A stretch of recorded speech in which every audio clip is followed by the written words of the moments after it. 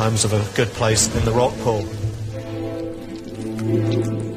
Using a specialist time-lapse camera, we can speed these battles up to see what's really happening.